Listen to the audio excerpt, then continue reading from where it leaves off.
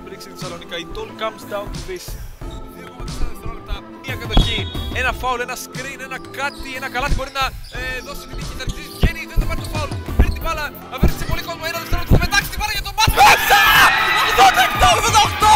Τελικός σκορ, απίστευτη φάση. Ο Αλκιζής βάζει την υπογραφή του στο τέλος. Έχει βάλει απίστευτα γερές βάσεις για Νόβι με το MVP. Κρύο αίμα από τον Πεσλεστή από το ρηκτό. Πες κάτι στην κάμερα, πες κάτι στην κάμερα. Πες κάτι στην κάμερα. Ωραίος. Είπε κάτι στην κάμερα.